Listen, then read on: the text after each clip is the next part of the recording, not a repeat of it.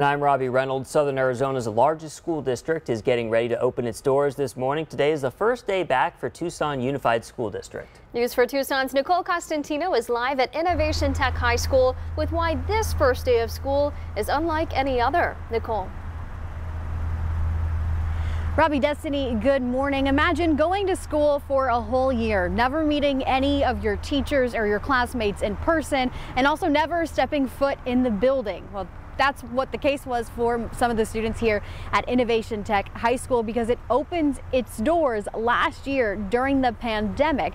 So TUSD partnered with JTED, the Joint Technical Education District of Pima County to open the school last year, one of the big focuses is being career ready. So students have those typical high school classes, but then they can also get those JTED licenses and certificates while in school. And we're talking drone operation, phlebotomy, medical assistance, nursing assistants, culinary arts, restaurant management, lots of things that are really hands-on. And I got to talk with Principal Patricia Hurley, and she says more than 50% of students chose to come back during fourth quarter last year. So she is very excited to have everybody back back today? It goes back to the energy of students back in the hallways, seeing students connect with each other in person, seeing them connect with the adults on campus, but ultimately seeing their academic growth come back.